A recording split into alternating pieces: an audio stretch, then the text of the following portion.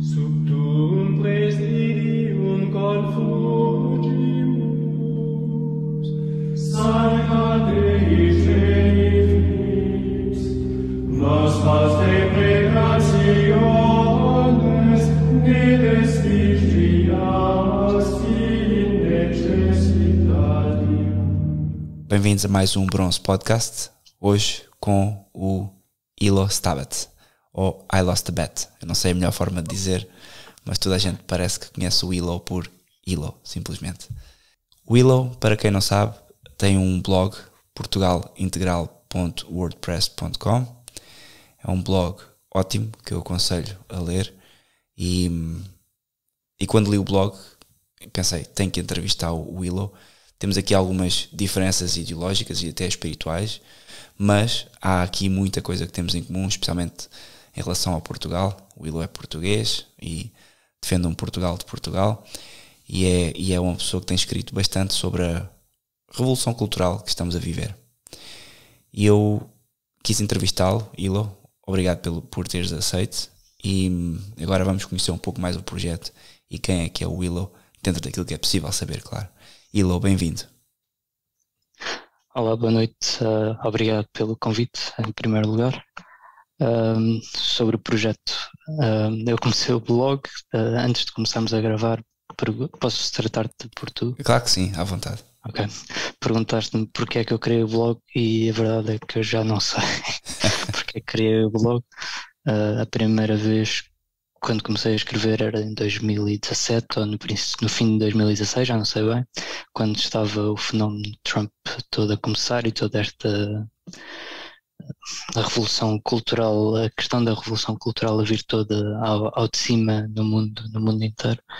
E decidi comentar porque a verdade é que tinha andado completamente desligado de, destes assuntos, quase de forma mais. ah, não, não me queria meter nesses assuntos de todo, queria passar despercebido perante os pingos da chuva, mas eventualmente no nosso trabalho, no- nas nossas famílias, esse- todos esses temas ah, que, que tu falas frequentemente ah, e que todos nós sabemos do que se trata, começaram a invadir a vida normal e tive de me perguntar o porquê de tudo isso estar a acontecer e pronto, e a partir daí começar a escrever não só para, aliás, não tanto para ensinar alguma coisa aos outros, mas para eu ah, matutar em público e por escrito nas próprias coisas que estava a ver e a pensar.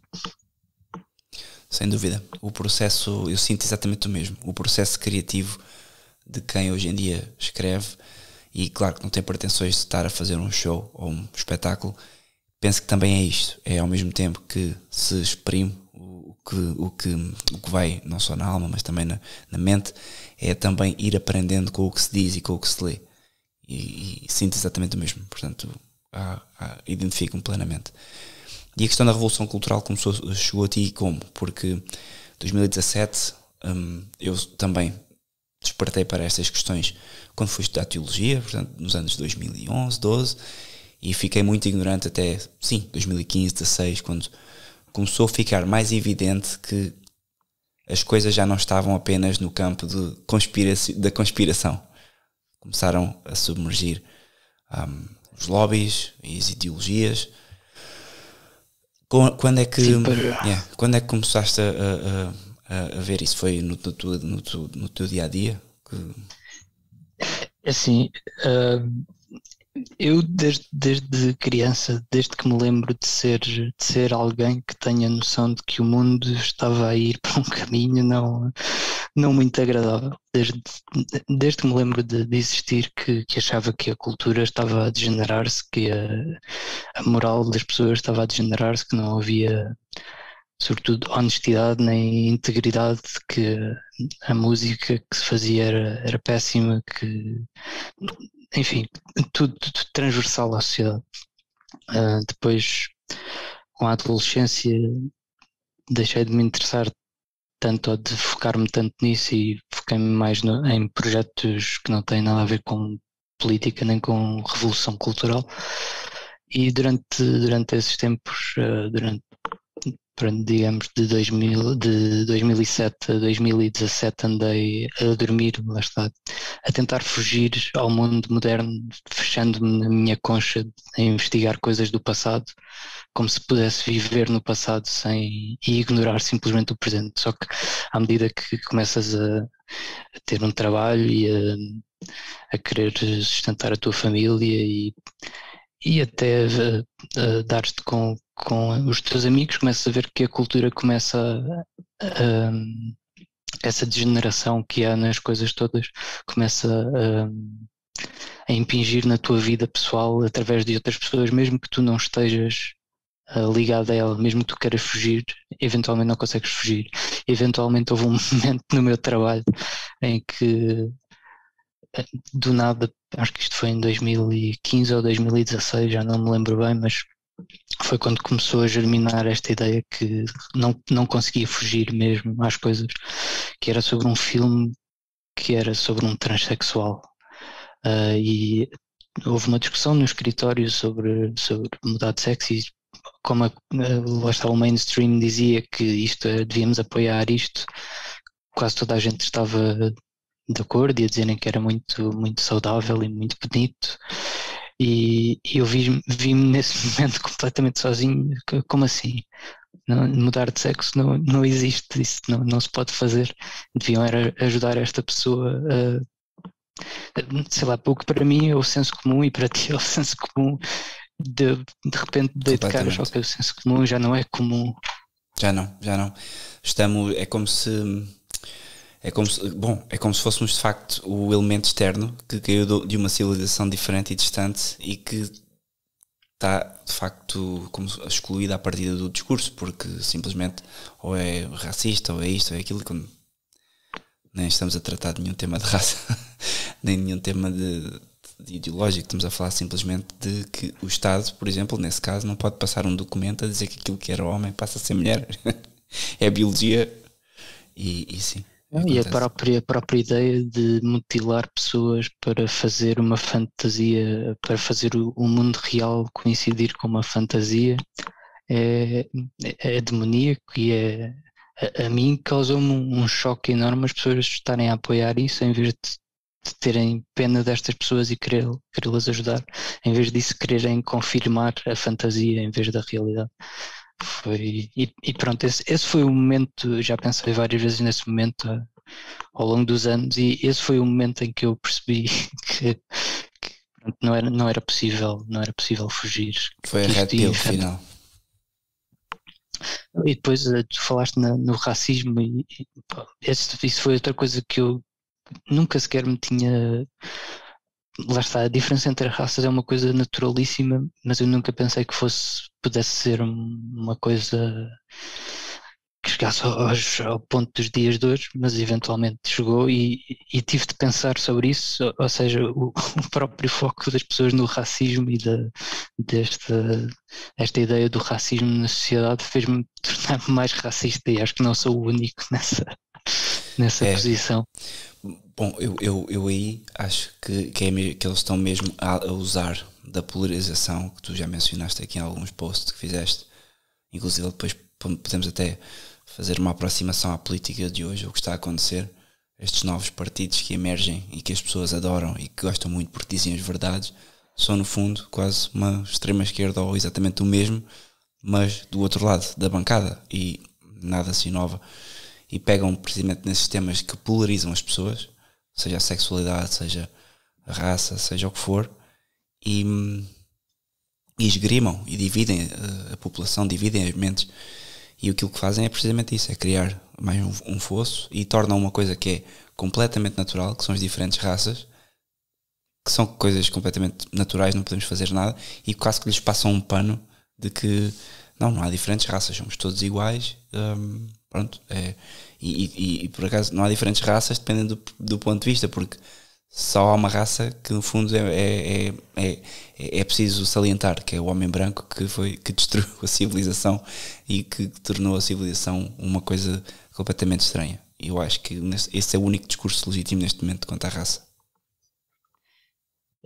esta é uma, é uma questão complicada, porque por um lado eu, eu percebo, eu tenho família mais, mais rural que viram o Chega como uma, um fenómeno espetacular que finalmente alguém falava mais ou menos para, para as ânsias deles.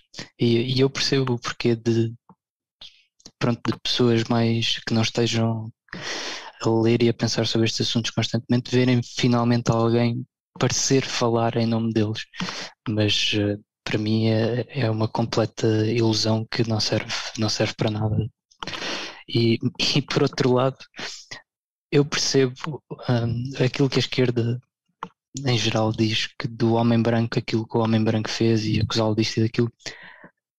Eu, de certo modo, concordo com eles pelas razões exatamente contrárias àquilo que eles dizem, mas eu, eu percebo o que eles querem dizer porque foi o homem branco que criou o mundo, este mundo que nós estamos agora em revolta contra. Porque não foi, não foi o homem preto, nem o índio, nem, nem o japonês que criou a modernidade. Foi, fomos, fomos nós, foram os nossos antepassados. E é preciso, a meu ver, reconhecer eh, a origem desse erro. E o erro não foi nos anos 20, não foi sequer na Revolução Francesa. O erro, a meu ver, vem, é muito anterior a tudo isso. Uh, e, e, sem compreender onde é, isso, onde é que não, não vamos isso? muito longe. É, eu gostava de ouvir, porque essa perspectiva penso que é, que é boa explorar, no sentido em que há um fundo de verdade que de facto o, o, o, Ocidente, às vezes estamos a ser, hoje em dia o discurso mais fácil é há uma, há uma substituição uh, cultural, há isto, há aquilo. Calma, quem, quem arrebentou com a monarquia fomos nós. Quem arrebentou com a espiritualidade fomos nós. e portanto aí, Exatamente. há aí um fundo de verdade que, que eu gostava de explorar. Para ti, quando é que começou esta, esta, este trem-trem? Ou seja, quando é, vai, remontas a que episódio, história? Eu diria que a era moderna começou no século XIV. Com, houve várias coisas a acontecer nessa, nessa época, era o fim da Idade Média, mas em particular houve um, o colocar, porque lá está, numa sociedade tradicional, e isto encontra-se em todas as sociedades tradicionais, uh, no mundo inteiro, em todas as épocas, uh, o clero, a parte espiritual, é o que está no topo ou seja, é a igreja, é os brahmins na Índia, uhum. um, os monges, ou seja, a, a, força espiritual, os representantes do espírito, que é aquilo que está acima de tudo, acima de tudo o que é humano está o espírito. E portanto, os representantes do espírito no mundo terreno têm de estar no topo da hierarquia. E quando isso deixa de acontecer, e a meu ver deixou de acontecer no fim da Idade Média com, com o fim, por exemplo, da Ordem dos Templários, ou com a, a, as afrontas do, do rei francês ao, ao imperador. a substituição basicamente do, do poder político uhum. pelo poder espiritual. E isso, isso para mim foi o começo que deu, que deu as depois à revolução uh, científica e acelerado to, todas as revoluções no fundo sim acelerado no meu entender porque essa perspectiva é, é interessante eu costumo não sou perito em história mas costumo identificar um, pelo que estudei na faculdade e também pelo que tenho lido, quase como o grande catalisador de tudo. Claro que o protestantismo já não brota somente do protestantismo, não é? Há sempre um antecedente, mas o grande catalisador de tudo isto também o protestantismo na Europa. Dizimou imensa a hierarquia e a estrutura, um, bom, no Ocidente, do, da, da, da, igreja, claro, e, e, consequentemente do, do, do trono, e depois, do, e depois ah, claro disso temos, temos todo o rol de eventos, pronto, Revolução Francesa e por aí fora. Lá está, isto é aquela, há uma expressão uh, americana ou inglesa que é death by a thousand cuts e a modernidade é um bocado isso, não foi só um momento, foram várias coisas que foram acontecendo e obviamente o, a, a, Revolução Protestante, ou, eu, eu não gosto de lhe chamar reforma porque é mais uma deforma do que uma reforma. Uh, mas a Revolução Protestante foi, foi sem dúvida um, um momento crucial porque afirma basicamente é a democracia naquilo que devia ser mais hierárquico, que é o espírito. E em vez de afirmar a hierarquia, e a própria palavra hierarquia, uh, hier é, é sagrado. E quando se afirma que o mais o mais básico da sociedade, ou seja, as pessoas que estão em baixo e que devem ouvir quem está em cima podem interpretar a Bíblia e, e impor doutrina a todos os outros ou impor a si mesmos a doutrina é, é uma, uma aberração completa que depois vai dar a aberração política de se querer extrair a autoridade de quem está em baixo, que também não funciona exatamente da mesma maneira. Uhum. Sem dúvida. E, e... Eu, tenho, eu tenho pena, deixa-me só dizer. Força, força. Eu não, eu, eu não gosto de antagonizar os protestantes porque conheço protestantes. Exatamente. Conheço não, não denominacionais e, e por aí fora, mas e, e, eu percebo que no nosso, no nosso tempo, em 2021, seja muito difícil por várias razões, aderir a uma tradição estabelecida, porque, primeiro, as próprias tradições estabelecidas estão completamente infiltradas por todos os lados e, e porque há, muitos, há muito poucos uh, caminhos a, a, a, para, para seguir esse, essa tradição. Mas, por, por outro lado, é preciso reconhecer que a razão por que temos tão poucos caminhos e porque há tanta infiltração também se encontra na, no protestantismo Sim. Portanto, era só um pedido de desculpa por caso de ter protestantes a ouvir, porque eu não quero antagonizá-los como indivíduos, mas acho que é preciso perceber na história o, o papel eh, crucial que isso teve na, na deriva modernista e, claro. no, e, na degeneração que vemos. Não, aqui temos que apontar, não, não estamos aqui claramente a apontar eh, este é o culpado, porque é como já mencionámos, há aqui um leque de fatores e eu, sendo católico, eu faço um grande meia-culpa, porque de facto nos últimos 60 anos a Igreja Católica entrou no, no bandwagon, no barco, e tem sido não a Igreja per si, e corpo místico, mas a Igreja hierárquica. Meu Deus, nós católicos estamos completamente assustados com o que tem acontecido e, e é muito complicado. Nós que tentamos viver a tradição católica, fu, parecemos, parecemos que estamos a tentar restaurar uma coisa que nos custa, porque, primeiro, sabemos muito pouco sobre ela, já não crescemos com ela, estamos a, a absorvê-la por leitura e por imitação de outros tempos, e, e, temos que, e temos que ser humildes no caminho, também não se pode. Uh, eu agora vivo a tradição, ou sou mais da tradição, conheço-a e vou ostracizar tudo aquilo que, nos, que ajudou a sociedade a chegar a este ponto. Quer dizer, eu próprio durante 25 anos vivi, e mais até, vivi como um catalisador desta revolução, em pensamento e em ato. Portanto, aqui há uma meia culpa que eu penso que as pessoas também, quando fazem essa introspeção, acabam por reconhecer.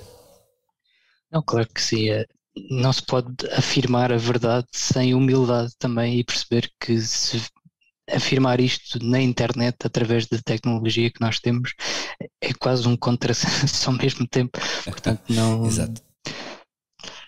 Não, lá está, não é para antagonizar ninguém individualmente, é só é preciso identificar quais é são as causas para se conseguir resolver os problemas.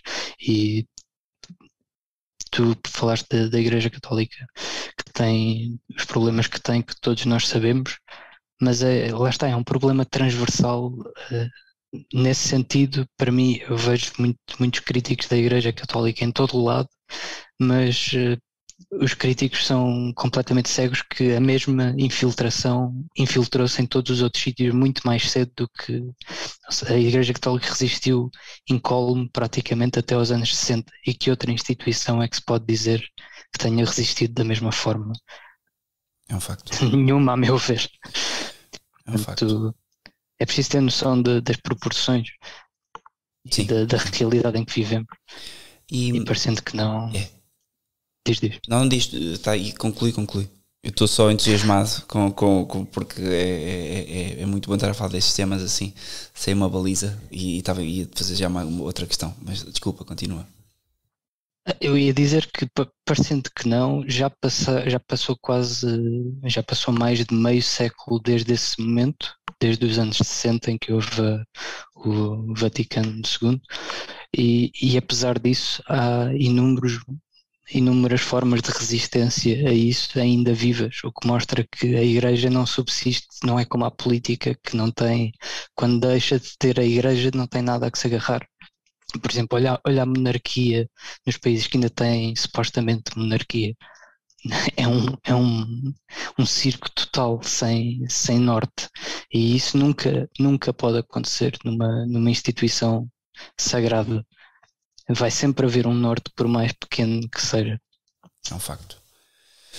É um facto. E sim esperamos, nós temos a graça de ter o Espírito Santo. A monarquia deixou de servir ao Espírito Santo e a Deus, então aquilo claramente perdeu o norte. Mesmo a portuguesa, atenção, temos em Portugal supostamente uns resquícios de monarquia, mas se formos investigar, aquilo já não dá em nada. Eu acho que ainda que eu mudei de opinião nisto há, há uns tempos, eh, há uns anos, digamos. eu achava que não era possível, já, que já não havia nada aí, mas acho que pelo, pelo simples facto de termos abolido a monarquia na prática, ela pôde manter esse espírito, que é uma forma do Espírito Santo uh, obrar a sua graça, digamos, que naqueles países que mantiveram a monarquia eu vejo-a muito mais degenerada do que nos países em que foi declarada a República e ela teve de ir para, para as sombras, mas por exemplo, quando eu comparo o Dom Duarte com os reais de Inglaterra ou até de Espanha, eu vejo uma grande diferença no, no que ele diz comparado com o que os outros dizem e fazem. Pelo menos é, é a minha opinião neste momento. É uma boa perspectiva, não, nunca tinha pensado assim. Uh, uh, me assusta-me imenso, porque ainda há pouco tempo vi o, o, o príncipe brasileiro da Casa de Bragança a falar sobre a maçonaria e fiquei completamente horrorizado, porque quer dizer, sabemos que a monarquia em Espanha são maçons. Estes aqui do, do Brasil, maçons. O português, já não sei. O Dom Duarte não, não sei se está ligado, se não está ligado. Mas quer dizer, olhando para a monarquia inglesa, então isso desapareceu e, e os franceses penso que penso que ainda resistem a algumas frentes da família, da, da, da família real, mas que não, que não, não me parece que, que, quer dizer que isto vá ser unificado assim, ou seja, se algum resgate para para a tradição possa existir, tu achas que pode haver aqui uma restauração da monarquia? Ou teria que ser um, um sistema parlamentar ou, ou um sistema republicano? Não, eu, de todo, eu sou contra qualquer sistema democrático republicano. Por, por princípio, eu acho que nenhuma solução uh, concordante com a tradição, e para mim a tradição não é uma coisa, não é simplesmente coisas que se fizeram no passado e que se continuam, é uma coisa primordial que vem diretamente de, de Deus e é, é tão primordial que as bases se encontram em todas as sociedades tradicionais. Uma coisa, por exemplo, nenhuma sociedade a não ser a moderna acha que, que os seres humanos vieram das formas mais baixas de vida e evoluíram. Só a nossa é que acredita nisso. Todas as outras sociedades tradicionais, do Japão aos índios americanos, sabem que vieram dos deuses. De uma forma ou de outra, de forma certamente incompleta, porque não tiveram a revelação uhum. direta de Deus, mas sabem que a sua origem é divina, não é de baixo, é de cima. Só nós é que desviamos completamente e invertemos uh, a situação uh, e a, a, perspectiva completamente. Sim. Uh, e hoje é isso, é uma fé, isso hoje é uma religião autêntica, que não podes contradizer. É, é literalmente satânica, porque lembremos o que é que Satã quer dizer. Satã é o, o, opositor, o adversário, ou seja, é o, existe para se opor àquilo que é o divino, aquilo que é o, o mais alto. Portanto, por isso não, não surpreende que nós estejamos no mais baixo do mais baixo e que comparado com connosco, as sociedades pagãs de, que aparecem no Antigo Testamento são quase uh, cristãs. Porque se nós é pensarmos, verdade. porque nós dizemos de forma muito científica que nós não sacrificamos bebés a um Deus, uh, a um Deus touro. Certamente não o fazemos nestes, nestes termos, mas quando vemos uh, o aborto completamente normalizado e todas as formas de disfunção que existem Sim. normalizadas, nós não somos melhores do que essas sociedades que Deus mandou destruir completamente. Pelo menos é a perspectiva que eu tenho. Eu acho que nós descemos mais baixo do que alguma vez uh, foi registado na história. E isso é, é, significativo.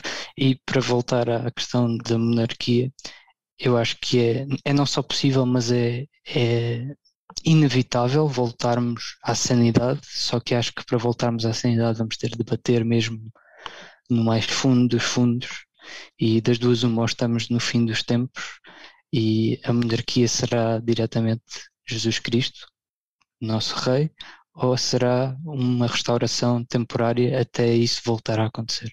Mas é, é lá está, a sanidade, o bem, a ordem é inevitável.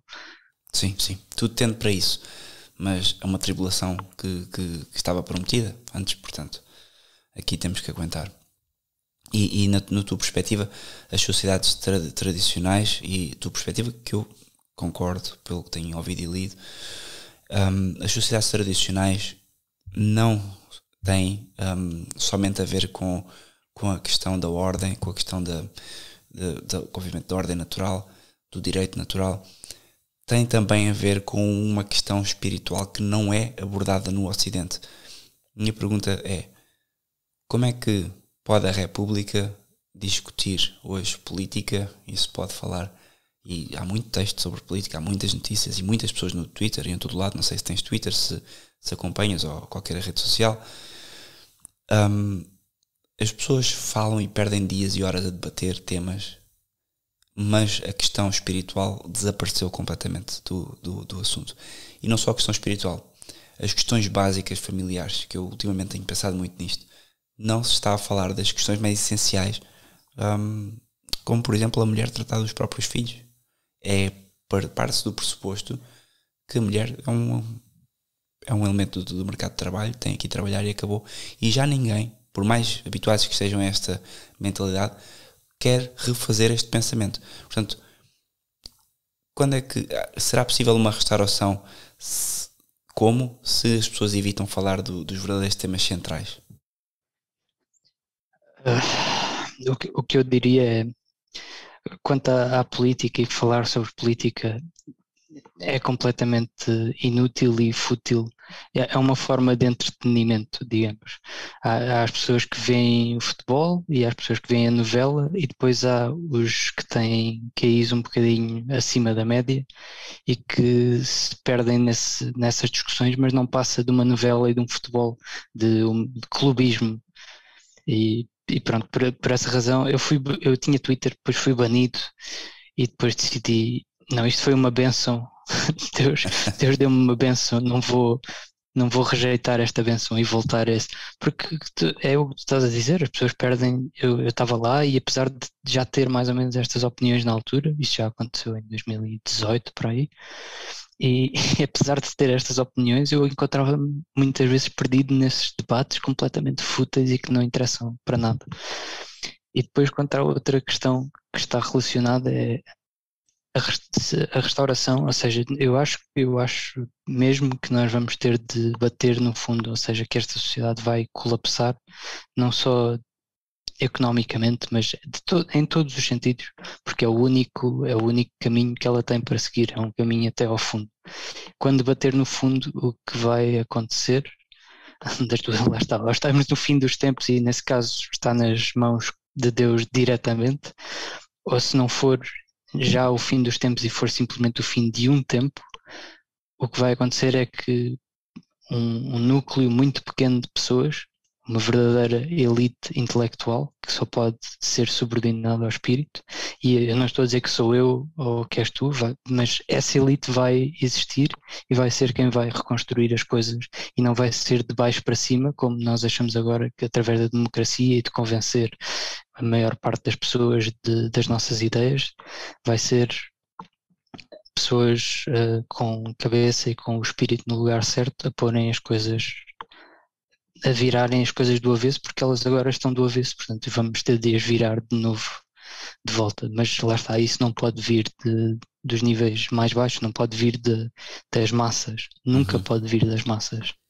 Pois é, porque essa é uma grande questão que as pessoas hoje expõem é estamos a quando se vê um debate político e democracia e vê aparecer partidos como o Chega que há quem, há quem considere tal como eu nos primeiros meses, não sei se sabes, mas nos primeiros meses em que o André Ventura nem era partido, começou a angariar uns quantos idiotas úteis, um, eu estava lá e, e, e, e, apesar de não ter feito, tinha feito mais um trabalho de background, de redes sociais e, textos uh, para o site, o que, o que aconteceu é que eu depois, passado uns meses de ver a palhaçada e ainda não via partido de Chega, não vi nada, apenas tinha conhecimento do, do André, porque o André estudámos, vivíamos numa residência universitária, que era onde ele também lá morava, e como a política transforma uma pessoa e transforma uma pessoa e põe ao serviço de coisas e de dinheiros que aparecem e que pervertem totalmente a pessoa e aquilo que era uma pessoa que o André que é uma pessoa inteligente e com alguns ideais que podíamos dizer uh, cristãos ou católicos acabam pervertidos nesta roda gigante da democracia que traça tudo à sua volta. E, e, e traça porque lá está tem que entrar no jogo de pão e circo que é agradar a uma maioria um, imoral porque vamos ser sinceros já estamos num ponto em que a maioria da população quer viver de forma imoral quer leis imorais e quer a, a destruição da pátria e já não quer um, uma pátria com uh, soberana e com uma moeda própria, com um exército próprio, já não tem essa noção e as pessoas na democracia vêm-se obrigadas a isto. Portanto, como é que podemos continuar a alimentar esta palhaçada? É, lá está, as pessoas alimentam. Eu percebo o, o apelo que tem, por exemplo, para uma pessoa como tu e para uma pessoa como eu quererem se envolver num, num movimento, digamos assim. Eu, eu, percebo perfeitamente o apelo e eu já tive. Lá está, quando a Chega estava para aparecer e quando a Iniciativa Liberal, eu tinha um amigo que achava que conseguia mover a Iniciativa Liberal num sentido mais conservador e eu disse-lhe logo: Isso não vai acontecer de todo, isso vais, vais, vais bater com a cabeça na parede e pronto. E depois ele percebeu e eu, eu, mas eu pensei, ok, tem de ser pelo Chega, mas depois percebi logo muito rapidamente que isso não fazia sentido nenhum e que e, e pronto, é, é mesmo isso não uh, as forças que vão que podem operar uma restauração nunca vão ser do mainstream, nunca vão ser extremamente públicas, uh, vão, vão ser um, uma uma uma força que vai, que vai surgir das trevas, porque lá está a verdade nos nossos dias está relegada às trevas de qualquer das maneiras. Portanto, é o único sítio onde nós podemos operar uh, com.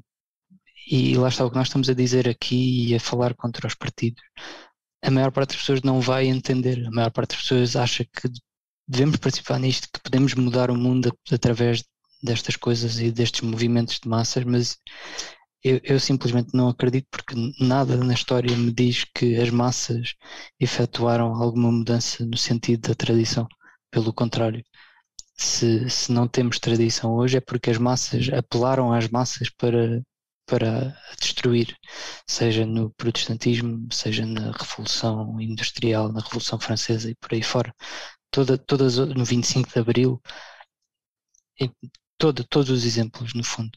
Portanto, terá, e eu sei que sou elitista dizer isto, mas por outro lado, nós somos inculcados desde pequenos a, a, ideia democrata que todos temos de participar de forma igual e todos temos uma voz, os nossos, o nosso voto conta igualmente e, e por aí fora. Mas eu acho que isso é parte da, da doutrinação que nós recebemos que temos, temos de rejeitar. Se queremos realmente efetuar uma mudança, primeiro temos de deixar que nós mesmos sejamos transformados pela, pelo reconhecimento do divino, porque se, nós mesmos não formos transformados, então não podemos transformar nada. E, e depois de nos transformarmos a nós, transformamos-nos aos que estão à nossa volta, à nossa esposa, à nossa família, tanto quanto conseguirmos, aos nossos amigos e por aí fora. E, e daí poderá vir alguma coisa de, de um movimento de massas eu, eu não vejo que possa vir alguma coisa de bom. Pelo contrário, aliás, nós já tivemos, Deus está-nos a dar to, todos os, os sinais de que envolvermos em política diretamente e explicitamente é uma muito má ideia, porque cada vez mais é, é impossível falar destas coisas e envolver-nos sob o nosso próprio nome, e já agora digo que tu és extremamente corajoso por fazê-lo, uh, envolvermos-nos dessa forma é, é, extremamente perigoso se queremos sustentar a nossa família. E, e, eu acho que isso é um sinal divino que temos de trabalhar nas trevas, pelo menos de momento. Sim. Porque a verdade é que isto começou, quando começou, eram eles que estavam nas trevas onde deviam estar, mas agora o mundo está ao contrário. Ou seja, quem está na luz devia estar nas trevas e vice-versa.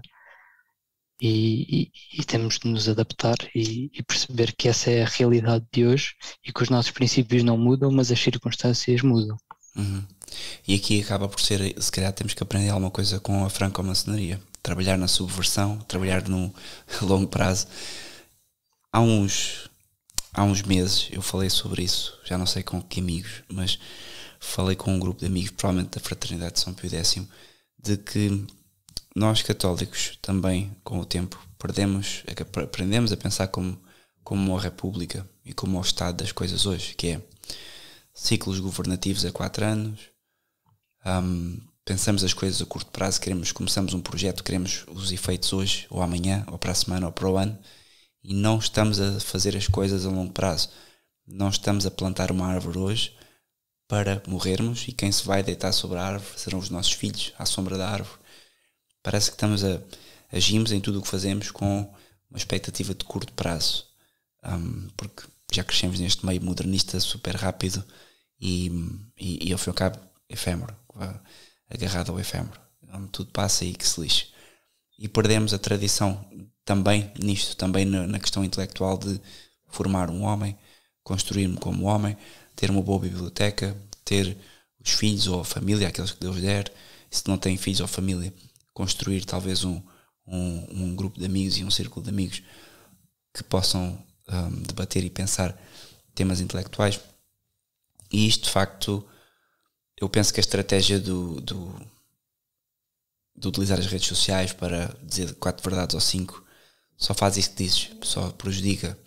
E eu penso que não há maldade em, em expormos as coisas a, a público, uh, contando que evitemos, se calhar, dois ou três dogmas que são os que não se podem falar de facto, que completamente dizimam a nossa vida pessoal, se falarmos neles.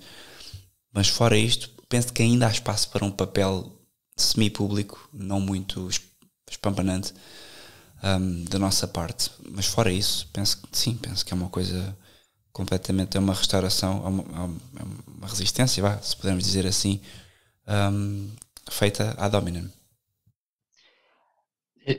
Eu concordo com o que está a dizer, primeiro com a questão efêmera, que é uma coisa que nós temos de lutar. Eu tenho 30 anos, portanto, na, na minha vida já vi várias revoluções tecnológicas e vejo em, o impacto que isso tem na, no acelerar do tempo, na, na visão ser cada vez mais imediatista e menos eterna, digamos.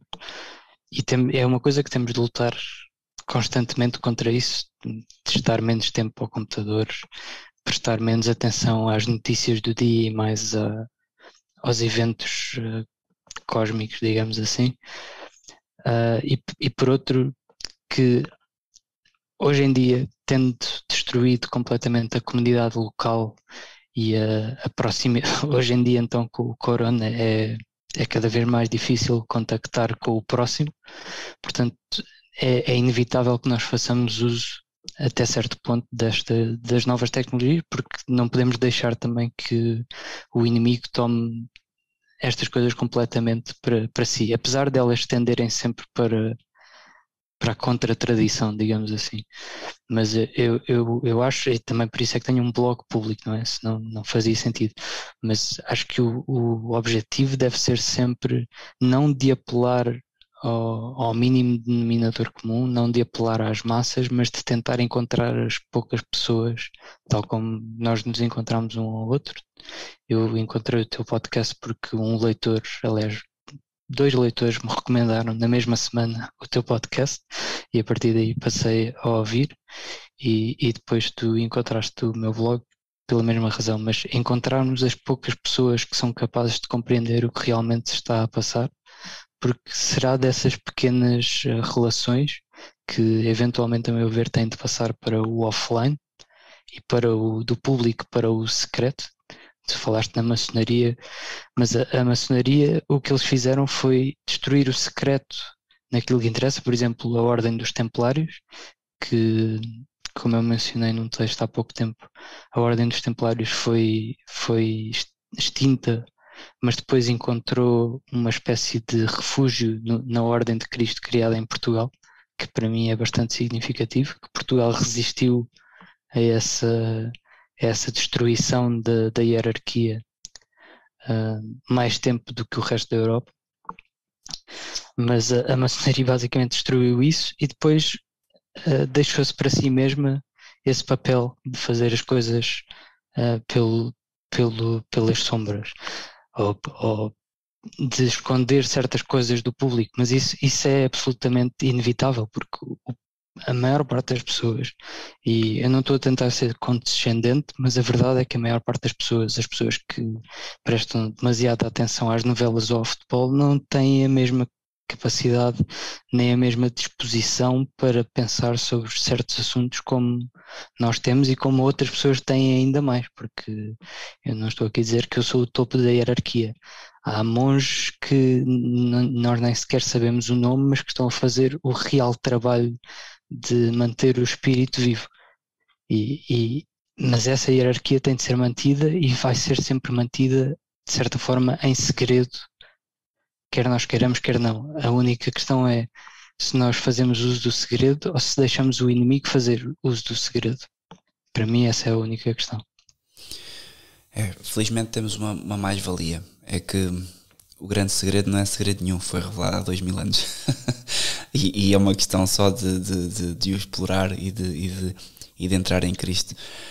Agora. Sabes, eh, deixa-me dizer alguma coisa sobre, sobre esse assunto. Eu tenho lido bastante sobre os primeiros anos do cristianismo e a revelação, agora a nós, e sobretudo a nós que estamos, que pensamos sobre isto todos os dias, parece-nos, não nos parece tão chocante como, como era na altura, a meu ver.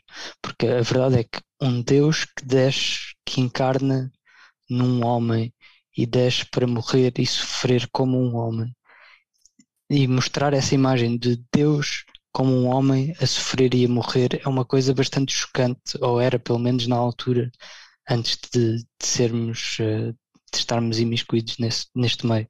E o que eu tenho descoberto é que nesses primeiros anos o cristianismo era uma coisa que tinhas de ser iniciado nessa tradição, porque não podia ser revelado tudo de uma vez, senão era um escândalo. Deus crucificado era, era um escândalo. Sim, sim, o e eu acho que nós São estamos, isso, isso aí é bíblico. Estamos novamente a chegar a esse ponto em que é, lá está, as pessoas não percebem o que é que é uh, o significado de ser Deus crucificado. E, e, portanto, teremos de assumir, a meu ver, outra vez essa, essa perspectiva de iniciação, de levar as pessoas pela mão, mostrar-lhes aos poucos o mistério, porque revelar tudo de uma vez, neste ponto da história, a meu ver, leva só a, a duas coisas: ao, ao, ao protestantismo que é para mim a completa incompreensão do mistério, que é reduzir o mistério ao material, e por isso é que eles estão tão obcecados como, por exemplo, encontrar a arca de Noé uh, e, e, coisas desse género, que para mim são completamente inúteis. E por outro lado, leva a que as pessoas que não percebem esse mistério, se for revelado assim de repente, sem, sem introdução, leva a que e eu percebo esse sentimento, leva a que as pessoas se riam dessa, dessa realidade, porque não há, não há essa ponte de, de entendimento que foi construída pela Igreja ao longo dos séculos. Entretanto, essa ponte foi destruída completamente. Portanto, nós temos de construir essa ponte e não pode ser de como fazer como Martinho Lutero, de pôr as teses na, na, porta, na porta pública para toda a gente ver. Tem de ser, pelo contrário, uma coisa lenta e, e revelar aos poucos, porque é, um, é uma verdade cósmica e profunda que, que as pessoas já não estão preparadas para, para perceberem todas as suas implicações. Sim. Bom, aí, eh, aí há também o outro fator que é a fé de facto é um dom de Deus e o que eu tenho visto ultimamente é e de facto as conversões que eu tenho assistido eh, nos últimos 10 anos da minha vida ou são pessoas que de facto fazem um, um, processo intelectual onde elas próprias vão saltando as barreiras intelectuais que as prendem. Um, por exemplo, eu lembro perfeitamente de quando me diziam eu não era crente e não tinha estudado nada, Deus é amor. esta palavra que diz tanto, esta frase que, que, que é tão significativa para quem acredita em Cristo e, e Deus é amor, eh, acaba por no mundo de hoje não dizer nada. E, e, porque para chegar a Deus é amor, é preciso perceber essa questão que Deus fez homem, que Deus se entrega na cruz, que morre pelos nossos pecados.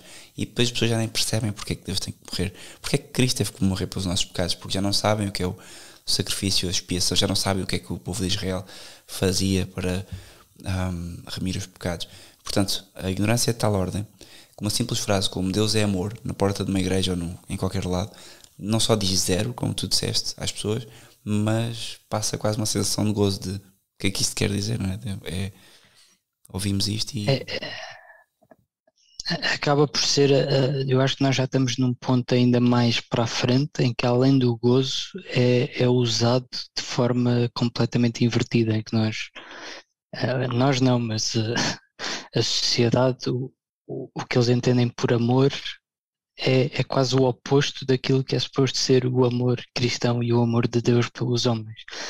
E, e parte disso é uma questão linguística, porque os gregos que, e a língua grega foi o que foi usado para escrever o, o Novo Testamento, tinha várias palavras para amor e a palavra que eles usavam para esse tipo de amor não era a mesma que eles usavam para amor erótico, por exemplo.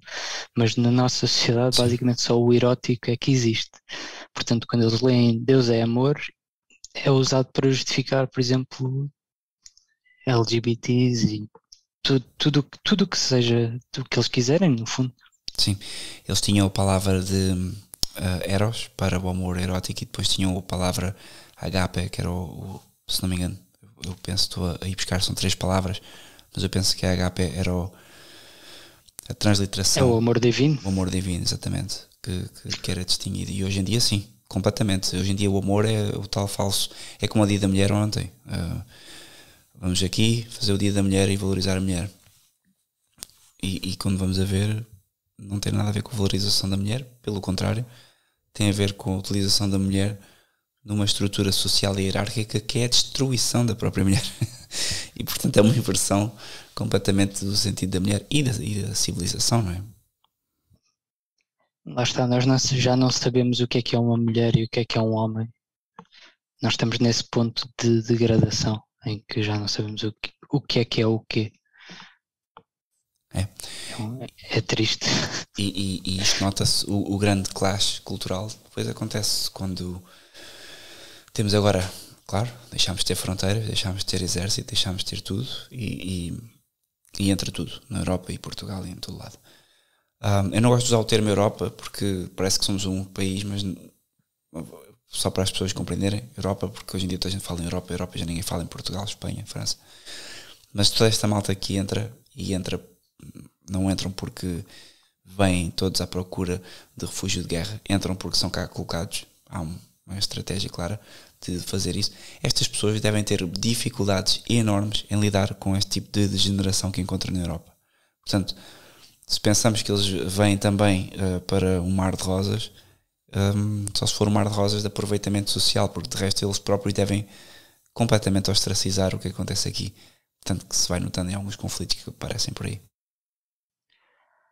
eu, eu consigo só imaginar, não consigo pôr-me no, no, lugar do que é um, um muçulmano tradicional, vir de uma cultura tradicional, que apesar de tudo ainda é tradicional, apesar de todas as um, imposições do mundo moderno nesses países, ainda é uma cultura mais ou menos tradicional. Chegar aqui e ver, ver as coisas todas que vê e não estou a desculpar aquilo que eles fazem, nem a desculpar a sua presença aqui, mas é, se me tentar pôr no lugar deles, a única coisa que eu vejo é, é uma cultura que tem de ser destruída pela força, porque se, se, eu, se eu viesse desses meios e visse as coisas que nós vemos, eu, eu acho que eu percebia o, o sentimento que eles têm e a, as manifestações que nós vimos. Em Portugal ainda não existe muito, mas existe em França e em Inglaterra e na Alemanha, os muçulmanos formarem de facto um, um bloco uh, contra uh, todas estas coisas. Eu, eu percebo-os de certa forma e não os quero aqui, mas não deixo de os perceber e de, e de ver isso não como uma causa do nosso declínio, mas como uma consequência do nosso declínio. É que o problema é precisamente esse, é que daqui por 10 anos, quem nós temos a defender a tradição na, na Europa e nos países da União Europeia, se é que se pode usar este termo, é, são precisamente os muçulmanos. E, e vamos estar nós aqui a pedir. Isso aconteceu neste confinamento em Portugal. Em Portugal, o culto não foi suprimido porque os muçulmanos estavam completamente nas tintas para o que, para o, que o governo dissesse.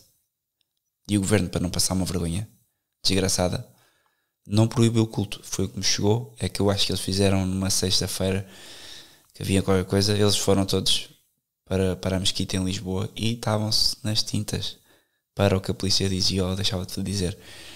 E, e, e, e, enquanto isto, os bispos da Igreja Católica encerradinhos nas suas casinhas, fechados, com o seu dinheiro no bolso das, uh, dos Portugais 2020 e de todas as iniciativas europeias que dão dinheiro à Igreja Católica para recuperar edifícios e, como é óbvio, como não há fiéis, então temos que ir buscar dinheiro a, certos sítios. Um, calados. Pá, é, é, surreal. E eu qualquer dia começamos é, nós a admirar os muçulmanos aqui. E a dizer a toda a gente que tem de usar máscara e, e desinfetar as mãos antes de, de receberem o Eucarístico e por aí fora. Isso é completamente.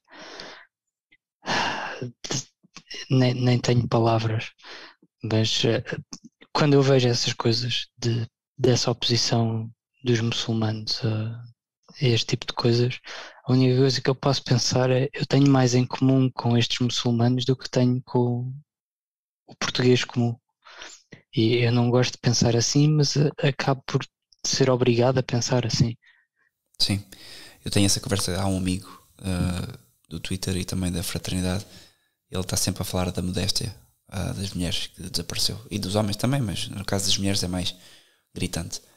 E e nós falamos sobre essa questão no sentido em que hoje, se eu for falar sobre modéstia, eu tenho mais em comum com o muçulmano do que com o próprio católico modernista ou com um, qualquer outro português, praticamente.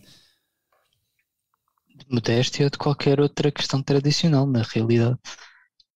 Eh, eu, eu não sei se já, já falaste com muçulmanos, mas eu, eu trabalhava com alguns muçulmanos e acabei acabavam por ser eles as únicas pessoas com quem eu falava mais abertamente sobre, sobre coisas mais importantes, porque com, com os portugueses eu acabava por falar de coisas completamente mundanas, porque se entrasse em coisas importantes era, era o descalabro total e possivelmente até era despedido. Mas com os muçulmanos eles faziam a mesma coisa que eu, fingiam que, pronto, faziam o, o seu trabalho, não sei o quê, e faziam e fingiam que, que acreditavam nas, nas, diretivas todas da empresa, e, mas depois na realidade, quando falavam comigo e eu falava com eles, nós concordávamos sobre o básico dos básicos. É que é Lá isso, está, a ordem é, que é o básico dos básicos, exatamente. Isto leva-nos aqui a um tema que, que eu queria perguntar, que é também difícil, um, tenho encontrado dificuldades em explicar isto às pessoas, e também é uma coisa que eu não percebia até há alguns anos, que é a questão dos Estados Unidos da América nós fomos educados, pelo menos eu fui educado em lares onde é o dia todo filmes ou música ou o que for. E, e hoje ainda há, todo um, há toda uma raça de conservadores e mesmo de católicos que põem a bandeirinha de Israel no perfil ou põem os Estados Unidos como o grande um, protetor do Ocidente. O que é que tu tens a dizer sobre isso? É assim, depende, depende do que é que do que é que identificarmos como o Ocidente. De certa forma, os Estados Unidos são de facto o protetor do Ocidente, mas é do Ocidente que nós devemos rejeitar, ou seja, do Ocidente democrático, do Ocidente revolucionário, do Ocidente liberal e por aí fora. E a mesma coisa, a questão de Israel é, pronto, é, nem sei se devíamos entrar por aí. Sim, não, não convém muito fundo. Essa... convém ficar só assim, falar só assim por alto. Mas uh, eu, eu já tive algumas experiências com a comunidade israelita portuguesa e digamos que não, não são as pessoas mais, mais abertas do mundo e, e são pessoas extremamente paranoicas, de certa forma. Mas por outro lado, eu também vejo aquilo que tu estavas a dizer do Chega, que é para, um, para trazer as, a fogueira de, das, da polarização e por aí fora. Eu acho que a questão dos judeus é uma forma muito, muito fácil de fugirmos à verdadeira questão, ao verdadeiro problema do Ocidente. E que é assim, os judeus estão representados em, em muitas coisas que nós devemos ser opostos, mas sem percebermos o porquê deles terem tanta predominância no nosso mundo. E a mesma coisa para, para na, na América, que na América é especialmente notável uh, a presença deles na pornografia, nos mídias, em Hollywood e por aí fora.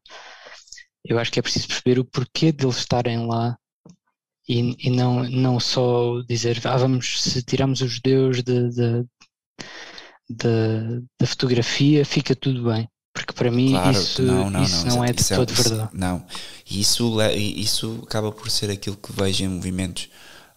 Também não querendo aprofundar, porque isto depois vamos entrar aqui num campo que é mesmo paranoico, mas é uma, não querendo aprofundar a questão do nacionalsocialismo, do, porque hoje há toda uma, há toda uma, gente, uma geração bem intencionada que identifica as questões, mas que depois tem um escape neopagão pagão, slash ateísta um, que entra por uma demonização também do judeu, não como um, uma elite organizada e intelectual e financeira, que, que, não tem nada a ver com raça, mas entram depois nas questões étnicas e que isso já estamos então a sair de, do foco da questão e estamos assim aí sim a perder-nos e, e, pronto, acabou a questão. Um, portanto, é, é, como, é que tu, como é que tu lidas com isso? Quer dizer, como é que tu vês isso? Assim, pessoalmente, eu não tenho, a questão étnica não tem grande peso na, na minha mundividência. Eu acho que é preciso reconhecer que os portugueses são portugueses e os, uh, os chineses são chineses e, e, não reconhecer as diferenças entre as raças e as etnias é, é, é idiota, simplesmente. Mas achar que o problema dos judeus no mundo moderno tem a ver com, com questões de ADN é absurdo. Não, não, não, tem nada a ver com ADN, até porque há estudos feitos por israelitas que mostram que os Ashkenazim não, não têm nada a ver com, com os hebreus originais, portanto Exatamente. não é de toda uma questão étnica de todo. E, e, qualquer, mas lá está, isso também tem a ver com a questão democrática, mais uma vez, que é o nacionalsocialismo, o nacionalismo, o fascismo, todas, todas essas, todos os ismos na realidade, incluindo o cristianismo. O cristianismo não existe, existe a igreja, existe a cristandade como, como a comunidade por baixo da igreja. O cristianismo com o ismo é uma invenção do protestantismo. Não, isso é uma coisa em si mesmo moderna. Portanto, todos os ismos são para rejeitar completamente por qualquer pessoa que tenha apego a, a verdades absolutas e, e, espirituais, a meu ver. Portanto, o nacionalismo e o antissemitismo e todas essas porcarias não têm absolutamente nada a ver com o verdadeiro problema que nós enfrentamos, que é espiritual, não é, não é, não tem a ver com raça, não tem a ver com ADN, não tem sequer a ver com ideologia. É uma questão muito mais profunda do que, do, do que essas coisas. E enquanto as pessoas se focarem nessas superficialidades estão, estão completamente votadas ao fracasso e é por isso que hoje em dia a única resistência que existe, por exemplo, ao, ao corona e a, a, ao, ao takeover completo totalitário do mundo moderno existe basicamente entre cristãos. Não existe entre mais ninguém. Todos os outros movimentos que são ecuménicos, digamos assim, todos eles foram dissipados com, com esta questão. E por isso é que eu acho que é também uma. Esta questão do corona, que ainda não falámos muito, é um. Lá está, é uma benção divina para separar o trigo do joio que Cristo disse que era fundamental. Sem dúvida. Agradeço antes de mais por teres dito essas, essas por teres por essa abordagem aos ismos, porque é quase como se tirasse um peso do peito. Um, às vezes é difícil agregar estamos numa altura onde é tão difícil arranjar soldados para um exército que às vezes parece que eu falo do, do, do, talvez que seja um defeito meu, que é tentar abordar um pouco todas as pessoas que com dois olhos ou um olho começam a ver a questão e começam a sair quase desta gruta uh, platónica e, e, e, vejo nacionais socialistas, fascistas e outras pessoas, mas que depois entram por caminhos que eu não posso, como católico, seguir, porque são caminhos que não conduzem à verdade. E, e isto tu disseste é, é completamente aquilo que eu, que eu penso. Uh, não podemos entrar nas questões étnicas e raciais, primeiro porque isso foi tudo também, uh, como é que eu ia dizer, categorizado por Cristo como, como tu dizes, uma verdade que não se pode, não se pode evitar, mas passou a ser um atributo secundário. O atributo, como diz, é espiritual e o problema é espiritual. E, e é isso, e pronto, e ponho-me agora nesta, nesta frente a esta grande parede ou grande muralha que é como transpor esta, esta grande muralha espiritual que a nossa civilização enfrenta, que parece quase se calhar não é para transpor, se calhar é como diz, é uma coisa de, é, é, é, um, é um, estamos a assistir a um evento divino onde as pessoas, as mentes das pessoas e o espírito está toldado propositadamente, não faço ideia. Aqui estou a pensar contigo. Eu, eu acho que é, é, uma, é um, uma, um momento que temos de ter, ter fé e ter humildade e, e, e paciência, sobretudo, porque este, todas, todas estas coisas que aconteceram no último ano sobretudo desde há um ano atrás, desde março de 2020, são uma questão de, de paciência e de, de, resiliência. E temos de pensar que já houve. To, to, todos os cristãos no, no mundo antigo tiveram de passar por coisas fisicamente piores do que nós passamos, e por outro lado, a nossa, a nossa missão neste momento é passar por coisas psicologicamente muito, muito graves e muito complicadas. Por exemplo, estarmos fechados em casa. Eu não fico assim tanto tempo fechado em casa e saio quando quero e não, não, não sigo tantas regras. Se bem que se a polícia me parar, eu digo que sou um crente completo no Covidismo, porque não, não lhes vou dizer aquilo que realmente sabes, penso. Sabes, sabes, sabes cumprir com os mandamentos da religião covidera? Não, porque lá está a verdade só é merecida, a verdade tem de ser merecida e se nós mentirmos a um polícia, a meu ver, não estamos a mentir, estamos a dizer a verdade para, para cumprir algo maior. Se eu estiver aí ter com a minha família e disser, ah não, estou a fazer uma coisa para o trabalho e, e eles acreditarem, eu não quero saber para mim, fazer o certo é mais importante do que dizer o certo às autoridades. E isso é uma coisa que eu não percebo no, na, na, nova mentalidade que se está a formar, é este apoio à, à, polícia e às autoridades, como se as autoridades tivessem alguma autoridade uh, derivada de algo realmente sagrado. Porque, na realidade, os polícias e, e todas as instituições que existem estão a serviço do, do oposto do, do demónico, não há outra palavra para dizer. Quando um polícia multa um, um velhote por estar sentado num banco, o que é que nós podemos uh, pensar? Certo, aí há uma perversão total da autoridade, sem dúvida. Não, é, portanto, sinceramente, o meu conselho mundano para as pessoas é finjam que seguem as regras e que acreditam em tudo e, e no vosso no vosso íntimo saibam o que é que é verdade e o que é que não é verdade. E tentem viver a vossa vida o mais uh, normal e o mais regrado e or, uh, orientado para a ordem natural possível.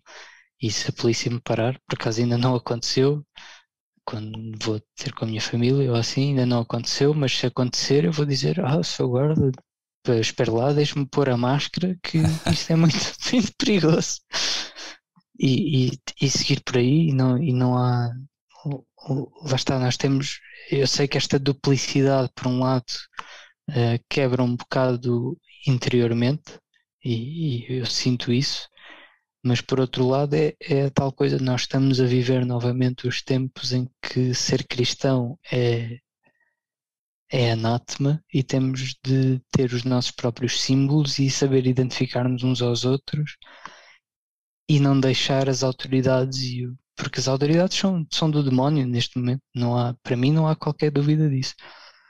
E, e, e saber nos identificarmos e, e, andarmos escondidos para podermos efetuar o nosso trabalho uh, a todos os níveis, seja de pregar à nossa família, fazer-lhe ver o que é que é verdade e, e fazermos o bem em si mesmo. Não, porque para fazermos o bem hoje em dia temos de quebrar a lei.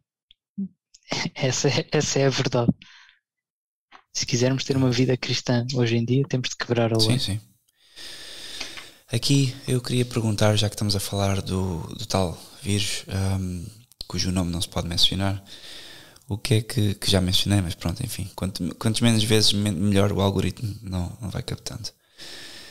O, o que é que tu achas destes movimentos que me parecem estar a aparecer? Porque eu tenho uma ideia muito própria e já partilho. Estes movimentos que estão a aparecer de uma forma muito frontal e estranhamente organizada um pouco por todo o mundo, não só Portugal, de confrontação social e política, de sair à rua sem máscara e, e basicamente afrontar todo este sistema. O que é que tu achas disto? Depois uh, posso também dar a minha. Uh, o, que é que, o que é que me parece que isto é? Hum, lá está, eu, eu acho que qualquer movimento popular está nunca pode trabalhar para aquilo que é realmente importante.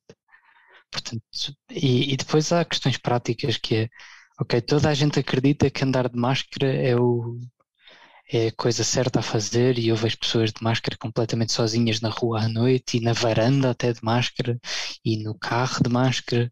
Portanto, se nós como nós, eu não vou nessa essas manifestações porque acho que isso é fútil, mas se as pessoas que são contra isso e eu, eu simpatizo de certa forma com o sentimento. Mas se elas vão sem máscara, a única coisa que vão fazer é ser identificadas mais facilmente pelo, pelo inimigo. Portanto, à partida, acho que não, não, não vai dar em nada de bom, a não ser o inimigo identificar-te como, Sim. como inimigo da ordem corrente. Eu tenho visto isso e tenho visto alguma, alguns amigos até que vão a essas manifestações e tem parecido um pouco mais do mesmo uh, mais polarização social. Porque se repararmos, uh, o Covid, esta história toda, tem entrado muito, as pessoas veem televisão o dia todo e muitas pessoas alinham em tudo aquilo que a televisão diz e portanto há mesmo um vírus que mata muito, etc, etc.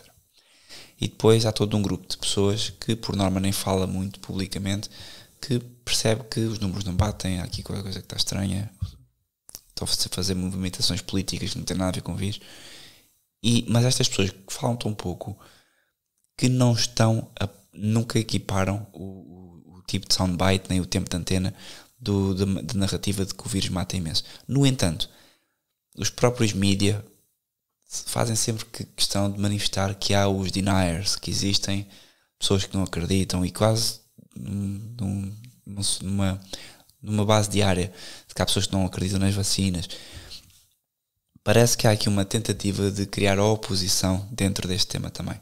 Ou seja, não só aproveitar o Covid para fazer todo o tipo de barbaridades totalitárias, mas também usar o Covid para agora vamos ainda dividir aqui um bocadinho mais o cidadão.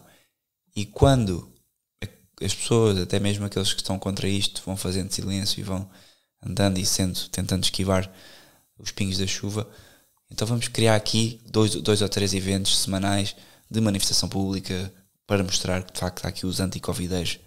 E, e isto parece-me ser mais esta estratégia novamente para chegar ao ponto em que chegaram os Estados Unidos, que é temos de um lado os patriotas e malta com, claro, que depois acabam por se exprimir de forma errada, metralhadoras e tudo, à grande à francesa, sem nenhuma componente espiritual, é tudo pela base da força e da, e, da, e depois entram todos os, os, os malucos da, da raça, etc. E temos depois os antifas e os BLM que vão para a rua também. E o que me parece aqui que está a acontecer em Portugal e no mundo, agora associado ao Covid, é esta destabilização social que eles querem trazer à tona agora, especificamente, como já não há eleições americanas, sobre o vírus. Não sei o que é que isto. Achas que faz sentido, não faz? Eh, eu, eu acho que faz sentido. Não sei, pessoalmente, se é completamente planeado ou se é espontâneo. Não me custa acreditar qualquer de, das opções, porque já, já vi o suficiente para saber que pode ser planeado aos mais altos níveis, mas também não me custa perceber que as pessoas estejam completamente fartas e que certas pessoas consigam perceber que isto é exagerado e, e por aí fora.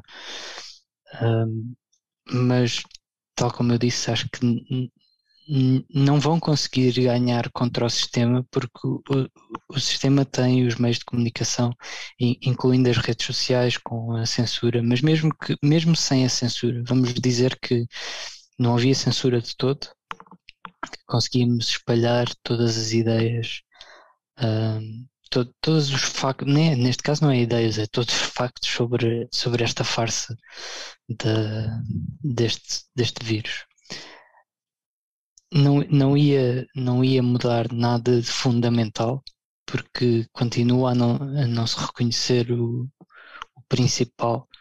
Porque vamos, vamos dizer que, ok, agora a, humanidade, todo, os povos todos conseguiam juntar um número significativo de pessoas e, e revoltarem-se contra, esta, contra este totalitarismo e voltar as coisas ao normal o que é que seria esse normal? O normal seria o que tínhamos antes, e o que tínhamos antes não era bom. Não é, não é isso que devemos almejar. O que, pelo menos a meu ver, o que devemos almejar não é, não é voltar ao antigo normal e não é o novo normal que eles dizem, é o verdadeiro normal, o verdadeiro normal da tradição. E isso é muito mais profundo do que, do que voltar a 2019 é, é voltar a 1019. Exatamente. é, e o, problema, o problema é que isso dá bastante trabalho. Era preciso aqui. Bom, dá bastante trabalho no sentido em que, primeiro, humanamente é impossível, só mesmo com a intervenção divina. Não vejo outra forma de ser disso acontecer assim em massa. Não, é, lá está. É, a minha convicção neste momento é que vai ser necessário descermos, vai ser necessário sofrer e é, é, preciso reconhecermos esse, essa realidade e não é, não é uma questão de black pill que dizem ah, está tudo perdido e não sei o quê. Não é uma questão de estar tudo perdido, mas é temos de aceitar o nosso sofrimento. Se, se até Deus teve de sofrer na carne, então por que é que nós não haveremos de ter de sofrer por aquilo que é bom? Nós temos é de aceitar e entender esse sofrimento e perceber que é absolutamente necessário para, para que as coisas fiquem bem, seja bem no final do ciclo total ou, ou bem no final deste ciclo, é preciso, vai ser necessário que nós soframos e que as pessoas que, que sabem o que é o bem sofram o que, o que, vai, o que vai vir. Eu tenho, tenho pena de estar a dizer isto aos teus ouvintes. Parece um, uma terapia é... de, de, de, malta de, de um hospital de mala psiquiátrica que só fala de sofrer, mas é verdade, tipo, eu compreendo. É verdade, quer dizer, para quem é, é, é, é cristão católico e compreende o que estás a dizer, é, é, verdade. Agora, quem não é, não compreende o sofrimento. Não, quem, quem não tem uma visão maior de, daquilo que é ser um, um homem, obviamente que sofrer é a pior coisa e isso, é, isso já se está a ver na, nas consequências deste do confinamento e por aí fora, porque as pessoas viviam só para o prazer, as pessoas viviam só para, para, para terem experiências e para, para se divertirem e assim do nada não podem fazer nada. Nada daquilo que dava algum sentido à vida das pessoas normais existe. Nem, nem ir ao futebol, agora têm de ver o futebol sem, sem público, nem ir a concertos, nem nada do que dava sentido, por muito espúrio e fútil que fosse o sentido que tinham, esse sentido de, de prazer e de divertimento desapareceu completamente. Então é normal que as pessoas comecem a perder a cabeça e a ficarem malucas. Mas é, é precisamente isso que nós, que entendemos que há um propósito maior na vida e que a vida vai para além de nós e continua e que a nossa alma permanece para além da morte do corpo e que o próprio sofrimento faz parte da, da sublimação de tudo isto e que estes padrões cósmicos existem não só no nosso dia a dia, quando fazemos um corte, eu hoje fiz um corte enquanto estava a jardinar, fiz um corte e depois pus álcool e o álcool ardeu, mas esse arder faz parte da cura. E é isso que as pessoas têm de perceber a um nível cósmico e geral que o seu sofrimento tem um propósito. E sem entenderem Sim. isso vão desesperar, que é isso que acontece a muita gente. Mas lá está, tem, têm de perceber esse sofrimento cósmico como, como necessário. Que, que há uns dias fiz um sobre este tema do sofrimento. Fiz um vlog um dia com a câmera na mão e apanhei os meus filhos e depois a minha mulher não me deixou publicar. Mas basicamente fiz um, um vlog que era sobre isso. Eu saí de casa de manhã, antes de, antes de começar a trabalhar, fui dar uma volta. Nós moramos no campo, mais ou menos, e estava a pensar, epá, pensar alto, para tanto que era um vlog. A malta que está em casa, fechada, trancada em casa, com filhos, não sei se tens filhos, não tens, não vem para o caso, mas eu tenho, já, já divulguei isso várias vezes no podcast, portanto, educar filhos para nós um, é visto como a nossa missão, pronto, a nossa vocação, temos que os educar com melhor ou menor qualidade, mais ou menos sabedoria, fazemos o possível, mas a questão do sofrimento, de nós passarmos o dia todo, minha mulher, mais a minha mulher, de volta deles e, e, e torná-los em pessoas, é uma questão que para nós é encarada com o sofrimento do dia a dia. Ou seja, nós fazemos isto com um sorriso e com paciência e com todas as dores e alegrias que isso causa. Mas eu imagino, para quem não tem esta noção sobrenatural da vocação de ser pai, como é que não deve ser aturar os filhos em casa nesta altura de confinamento? E eu, eu, eu ia falar sobre a questão de. Já há vários estudos que demonstram que os miúdos estão a ficar completamente loucos em casa. E loucos, eu duvido que seja porque sejam simplesmente porque são crianças fechadas. Obviamente que isso tem um impacto em apartamentos que não têm jardim, que, que é uma coisa, não é humano, as crianças estarem fechadas em blocos uh, suspensos no ar.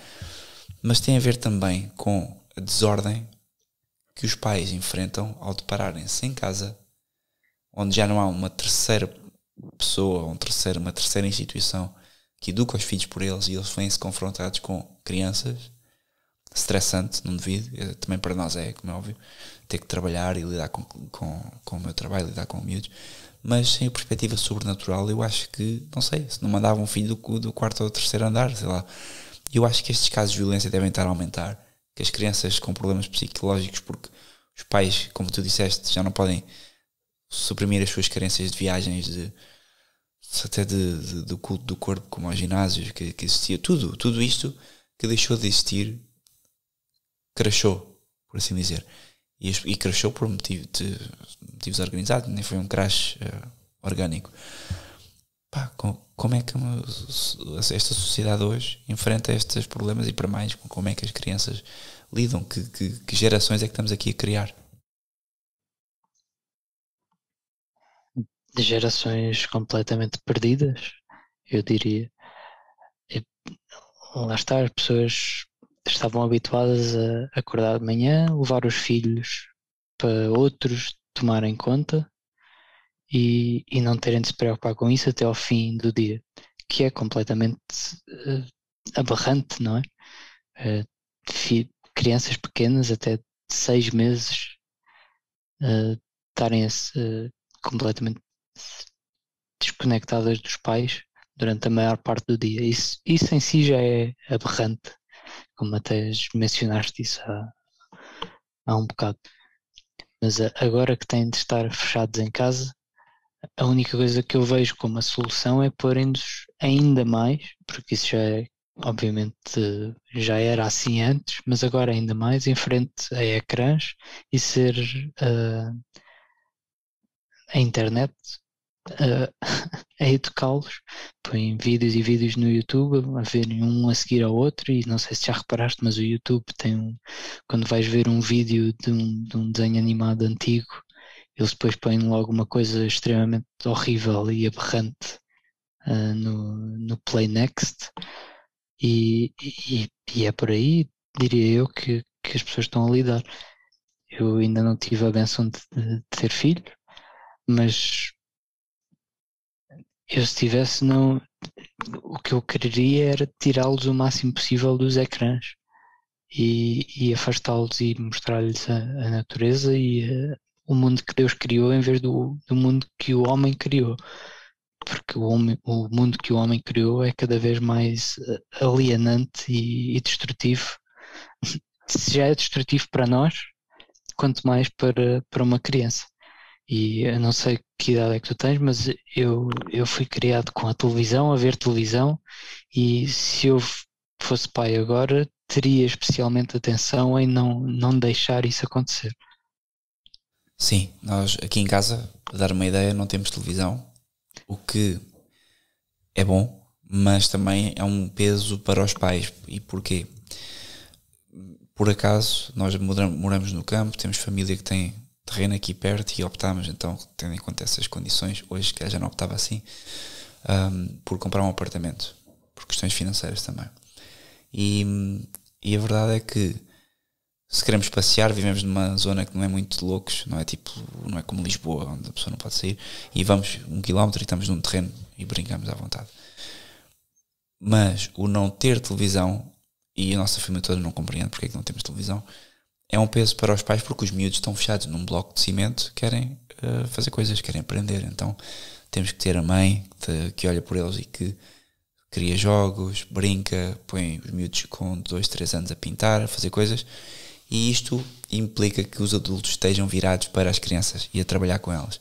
O que é que nós notamos na, nos avós, porque são os avós sempre que, que, pronto, são as pessoas mais próximas que estão com, com os nossos filhos, é que à mínima brincam com as crianças meia hora, porque já não têm, como é que eu ia dizer, educação um, mental para lidar com pessoas mais, mais do que esse tempo, porque estão tão habituados também à televisão, aos filmes e tudo mais, que passado um pouco desse tempo parece que entram em default e voltam. Um, ok, eu preciso de me alimentar ou de notícias, ou de telemóvel, ou de qualquer coisa. Então as crianças nós notamos que quando isso estão, estão na casa dos avós é quando eles estão em contacto com os ecrãs. E os ecrãs, que como é óbvio nós em casa às vezes também pomos, uh, que é preciso ver que também estamos num mundo tecnológico, convém também não esconder e não deixar de que eles privem com alguma tecnologia. Às vezes pomos, como dizes, coisas antigas, uh, coisas que ainda são comestíveis minimamente, a Bela Adormecida, uh, a Heidi, coisas assim, para eles verem e veem meia hora, se tanto. E, e, e isto cria um fosso entre a educação que nós lhes damos em casa e na casa dos avós que é gritante. E isto, se nós notamos na nossa família, imagina outras pessoas que o filho passa 8 horas, 6 horas por dia uh, a ver televisão. Quer dizer, estes miúdos devem ter a cabeça. Pois, claro, uh, autismo a torto e direito. não sei se tu conheces hoje em dia colegas teus ou amigos que tenham filhos, mas hoje em dia eu quase, todo, quase todos não, mas eu conheço três casais ou quatro pronto, diagnosticaram que o meu filho é autista. O filho não é autista, o filho está é completamente um zombie, agarrado à televisão, agarrado ao estímulo, e depois ainda leva uma outra dose, que é alimentos nutritivos zero, leite com chocolate, aquelas tretas todas de açúcar.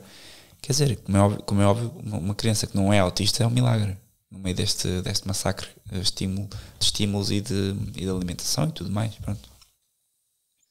Não, absolutamente, lá está. Eu, eu não tenho filhos ainda, uh, infelizmente, mas eu, eu, já tive essas conversas com, com os meus pais, com o meu pai até percebe, mas a, a minha mãe não, mas os meus sogros também não percebem. Como é que vocês não têm televisão? como, é que, como é que vocês sobrevivem sem, sem televisão? E se tivéssemos filhos então, como é que, como é que os filhos uh, sobrevivem sem televisão. E é, é um bocado a, a, baseline de hoje em dia é tens de ter um ecrã à tua frente para, para realmente existir, porque se não tiveres, se não tiveres esse ecrã uh, não, não existes. E as crianças têm de ser educadas sobre, sobre esse prisma de, de ver coisas que é, que é uma coisa completamente moderna e, inédita na, na história, na realidade. Sim.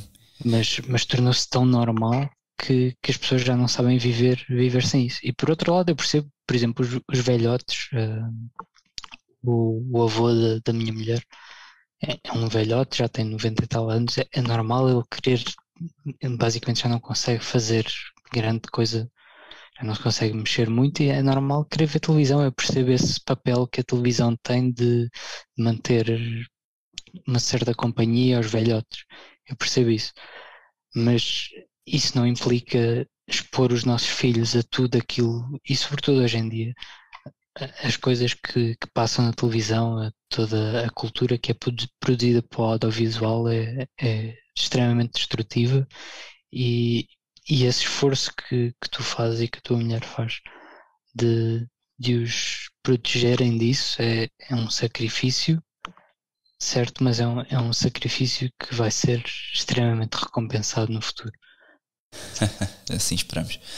Veremos. Depois há a parte em que os filhos também cabe-lhes a eles fazer o seu caminho. Isto é uma coisa que temos bem assente como pais, é fazer o melhor agora, quando eles forem autónomos, façam as suas escolhas e é tentar preparar um, uma boa, como é que eu ia te explicar, um bom terreno para que a semente caia e, e dê bom fruto. Oh, claro que sim, tudo depende da, da, graça de Deus. Eu não estaria aqui e provavelmente tu também não se não fosse a graça de Deus, porque eu, eu fui educado de uma maneira completamente secular vi os programas de televisão que toda a gente viu e, e, no entanto estou aqui a discutir contigo. Portanto, a única razão porque eu vejo para eu estar aqui a discutir contigo é Deus deu-me esta graça de, de ver para além de, da caverna, como tu disseste. É.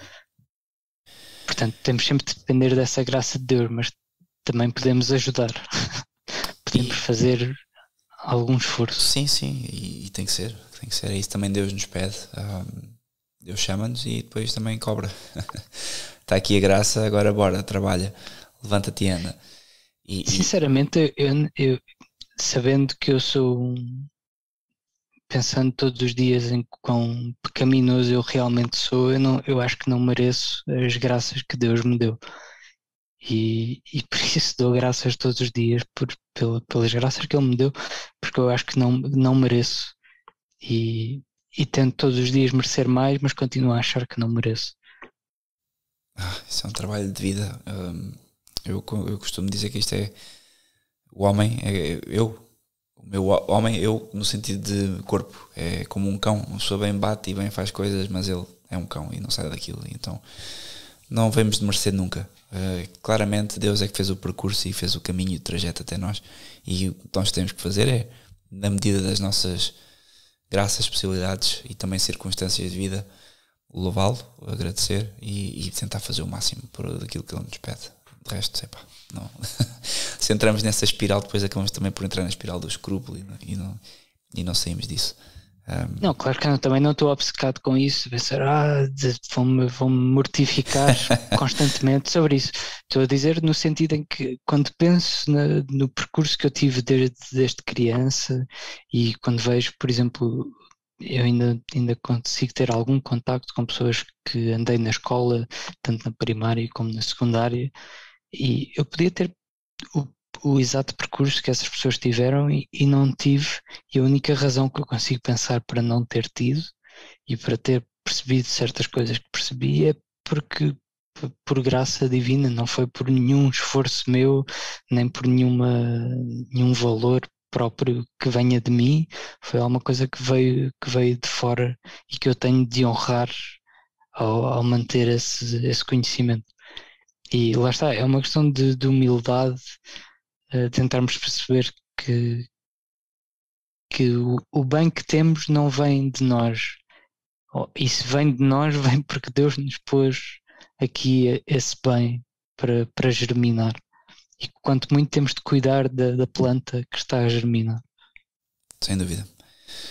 Como é que vês esta situação? Já estamos aqui com uma hora e meia praticamente, não vou tomar muito mais do teu tempo, gostava de fazer mais esta pergunta uh, e aconselhar todas as pessoas a irem depois ao teu blog, como é óbvio, ler o que tens lá. Uh, mas uma última pergunta. Na prática, esta situação do Covid vai terminar em quê? Assim, a 5 anos ou 10 anos? É, eu não sou um profeta, não, claro. Portanto, não, não sei. Mas a, a, meu ver, o que vai acontecer é que a grande maioria das pessoas vai acatar quaisquer que sejam as ordens que vierem do, do Comitê Central. Que, e o Comitê Central, digamos, é preciso salientar que o Comitê Central é liderado pelo demónio. E isso é, é, fundamental de perceber, porque o que eles querem fazer é que as pessoas tenham, que as pessoas escolham a sua própria hum, destruição. Porque o demónio não pode forçar-te a, a rejeitar Deus. Tem de ser uma coisa escolhida por ti mesmo. Portanto, o que o demónio quer não é não é matar pessoas, e daí que, que o vírus seja uma, uma virtualidade. O vírus, na realidade, não mata ninguém que não fosse já morrer antes. O que eles querem fazer é que as pessoas se suicidem, que as pessoas percam a esperança, que as pessoas desesperem, e infelizmente é isso que eu acho que vai acontecer: é cada vez mais pessoas a desesperar, mais caos social pela polarização que tu falaste, que em si mesma faz parte da, da dialética demoníaca que eles estão a tentar criar. E a mesma coisa com o racismo, e todas estas coisas vão, vão juntar-se na mesma coisa, que é criar uh, a tese e a antítese e depois a síntese vai ser o totalitarismo completo do, do sistema, que é o sistema controlar todos os aspectos da nossa vida. E, e não, não há muito que, que nós possamos fazer a não ser, no nosso âmago, reconhecermos que há uma verdade para além disso, um, que Deus está no topo disso tudo e que e, e, e não, não ficarmos uh, enraivecidos com Deus a dizer nós não merecemos isto, porque é que estás a fazer isto? Porque é que nos estás a fazer sofrer isto? Porque a verdade é que nós merecemos tudo que, tudo o que vier sobre nós, nós merecemos tudo o que nós já fizemos, tudo o que a nossa civilização já fez, todas as crianças que já matou, todas as almas que já condenou, nós merecemos o sofrimento que, que está a vir. E se, não, se por, por um acaso, por, por graça de Deus, não sofrermos aquilo que realmente uh, está no horizonte, é porque Deus é realmente misericordioso e nos poupou essa, esse sofrimento. Mas nunca devemos perder de vista que nós de facto merecemos aquilo que está para vir. É. Não, não individualmente, mas como, como sociedade. Sim. Sim, e também, individualmente, também é uma coisa, também temos, também temos o nosso, nós também muitas vezes pomos o plácet nisto tudo.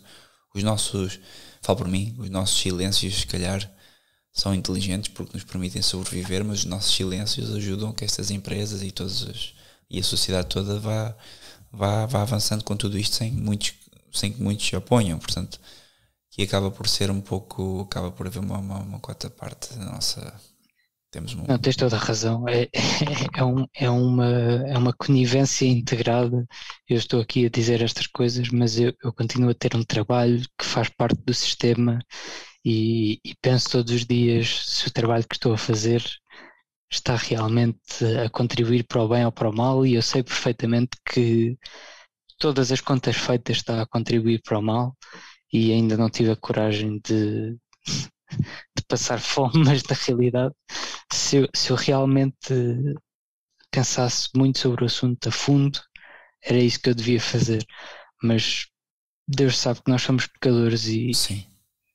a nível geral. É uma questão prática também de vida, quer dizer, eh, eh, porque hoje vê não só ao sistema, como eles com esta questão do, do Covid, como viste, eles tiraram o sustento a quem, quis, a quem quisesse desafiar o sistema porque ele simplesmente fechou. Exatamente. Se tu, tu dissesse, ok, não quero trabalhar, não sei onde é que trabalhas, mas imaginar que numa consultora uh, a ganhar X. Tu, ok, vou abdicar deste X e vou abrir a minha tasca ou vou abrir uma coisa qualquer. Não podes, simplesmente porque hoje em dia tens um nível de burocracia para abrir, seja o que for, e tens uma carga de impostos que destrói o teu rendimento.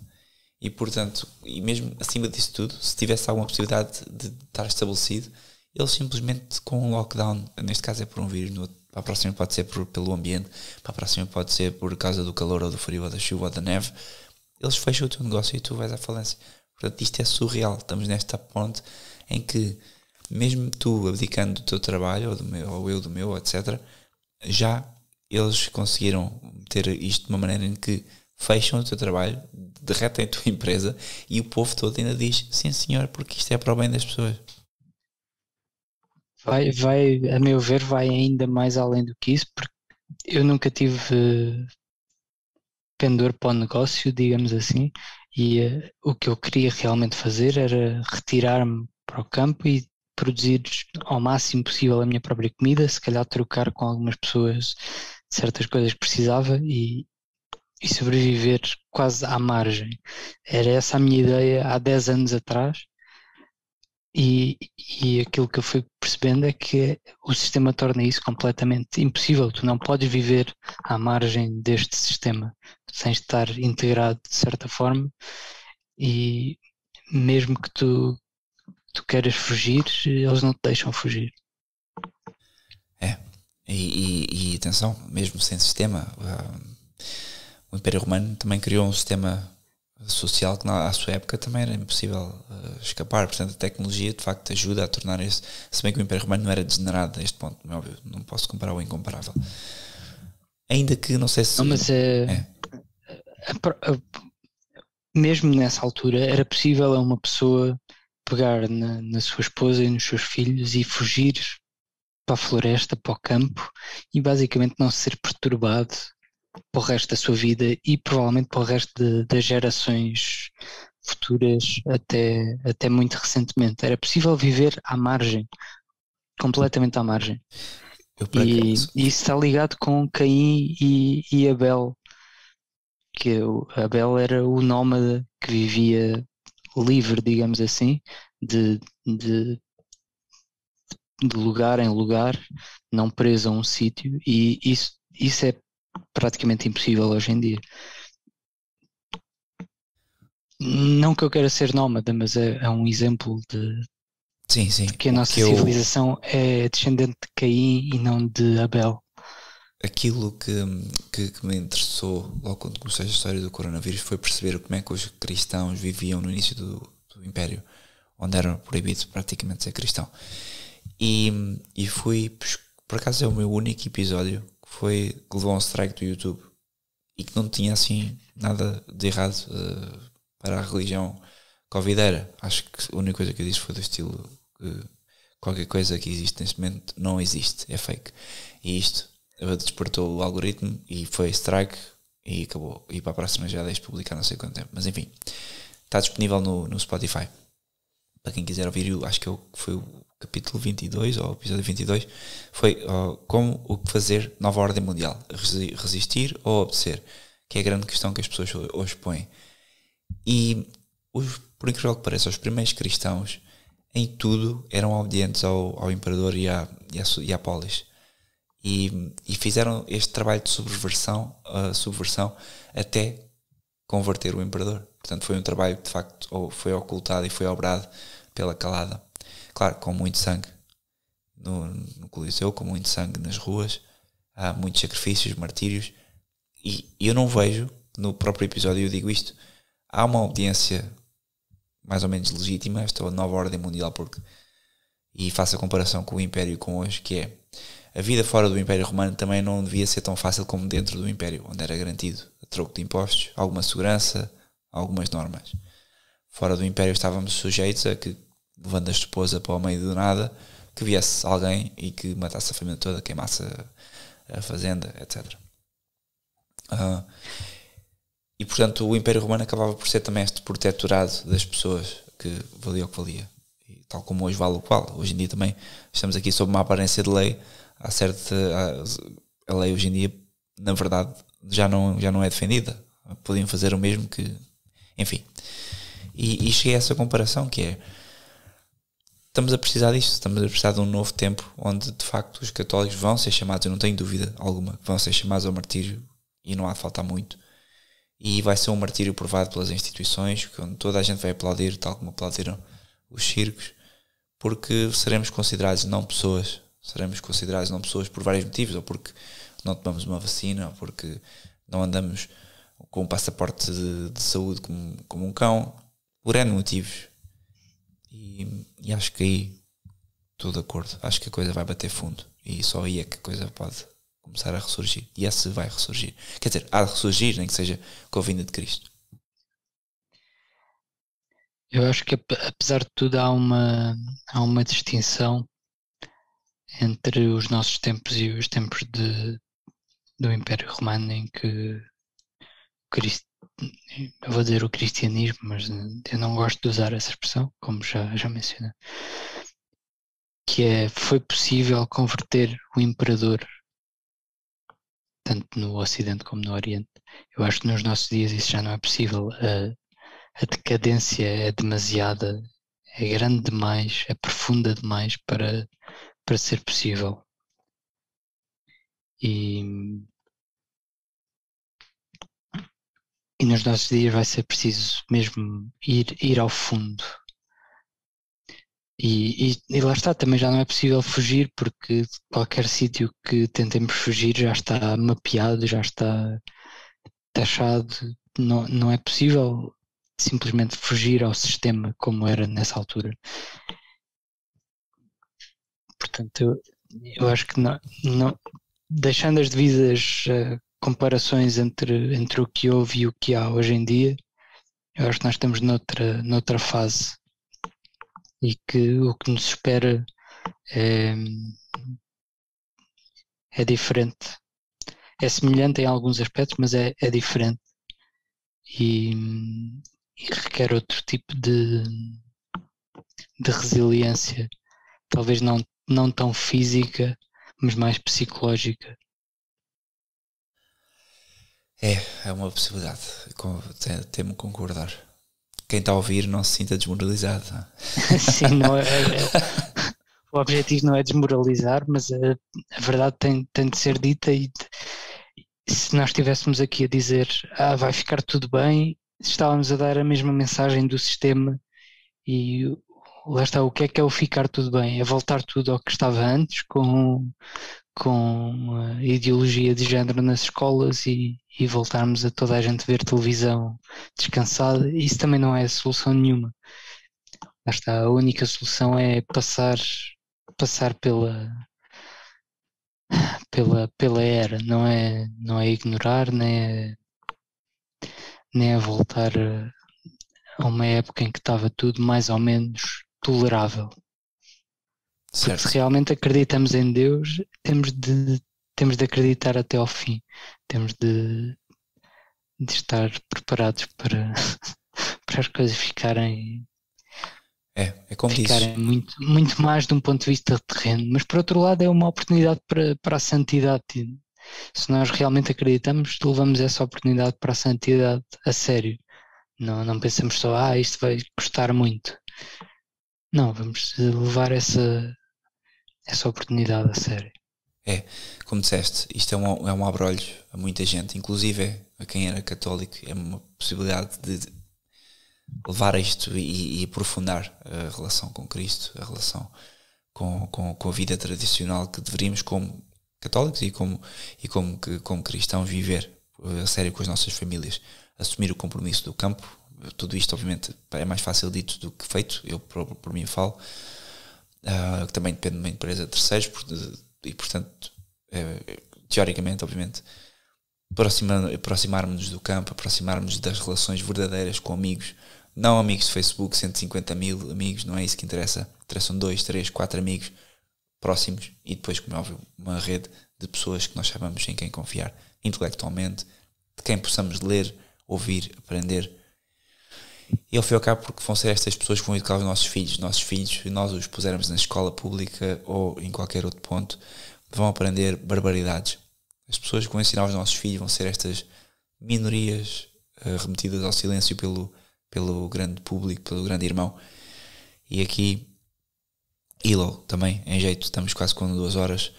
Uh, em jeito de agradecimento, queria agradecer pelo, pelo blog, pela aceitação da entrevista Penso que foi bastante interessante para quem estava a ouvir. Peço que todos visitem o portugalintegral.wordpress.com. Uh, ah, não sei se dá para fazer RSS feed ou subscribe, mas um, acho que sim. Pronto. E dá para seguir, dá. Está aqui no canto inferior direito. E portanto é, é irmos combatendo, porque somos um pequeno exército. Há sem dúvida pequenas divergências espirituais e e, mas nós, nesta altura, não podemos estar a escolher uh, agrupar num exército que é em tudo semelhante e igual a nós. Temos que falar com as pessoas que percebem a nossa linguagem, que têm, têm os mesmos valores e que querem, sem dúvida, combater esta revolução cultural, mesmo que não seja um combate político e frontal, que seja, como disse o Willow, um combate intelectual e, acima de tudo, espiritual. não longe de mim estar a dizer que somos elite, pelo, pelo, não sou certamente, uh, há, como o Ilo disse, há pessoas que sim, se fazem o trabalho de elite, este trabalho não é divulgado certamente porque aparecer já é um sinal de derrota e portanto isto talvez seja um trabalho apenas de condensação e síntese de pequenos temas e subtemas que possam ajudar alguém, mas que possamos nós educar os nossos filhos para que eles sim sejam elite e que conservem a tradição e os valores humanos que têm que passar e têm que ser transmitidos e foram sempre transmitidos desde o início dos tempos. Lá, obrigado. Queres deixar alguma palavra, alguma coisa que queres dizer? Hum, não, eu não diria melhor. Muito obrigado pelo convite. Obrigadíssimo então. Um grande abraço. Uma boa noite.